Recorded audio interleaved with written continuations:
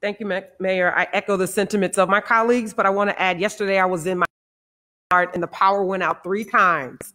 And um, in noticed that those essential workers that Councilmember Plummer mentioned, none of them had masks. And so Cheryl Angel out of um, in Alief was featured with uh, Channel 2 last night. She's willing to make 5,000 masks. So I appreciate you extending materials for us to donate because I want to make sure that all of those employees are covered up and they have masks. They're practicing social distancing, but you can imagine in a grocery store, how can you do that? So I want to make sure that those in the district have those materials. I appreciate that. And we're looking for Miss Cheryl. So if she's watching, we want to get those 5,000 masks out to the neighborhood. Thank Right. you. Excellent.